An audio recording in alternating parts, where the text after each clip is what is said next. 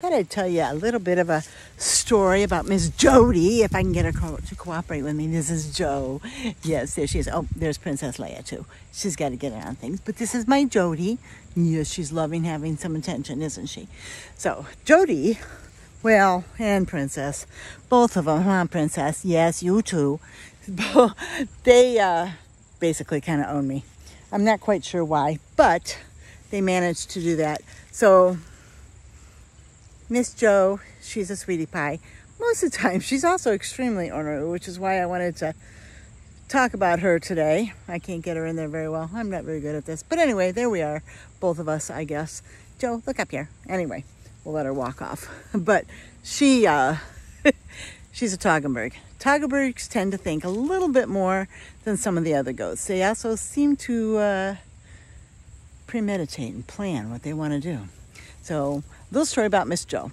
Um, see, last winter we had a real big cold spell, real bad cold spell. It was uh, extremely fast. The the weather changed overnight very, very dramatically with a lot of wind, and it was cold. So anyway, um, doing chores was rough. It was rough on the animals, but everybody was doing pretty good. Um, the dog likes to come into the barn, but Jodi likes to pick on him. She also likes to go out and eat hay. So she was not allowed to go out and eat hay because the dog had to come into the barn that day because it was way too cold. Anyway, she was mad at me. So she stayed in the back corner, kind of pouting at me. In the back, just staring at me, but pouting with her ears down and mad. Anyway, I told her, too bad, you're going to have to stay back there because, you know, dog's are going to stay in. So anyway, she, uh, got, I got all done with chores and was checking everybody out, make sure they were good and happy because it was so terribly cold. And she was standing there in the middle of the pen with her leg held up as if it was broken. I thought, how in the world could she break her leg? There's no place in in here for her to break a leg. There was just a smooth, flat pen.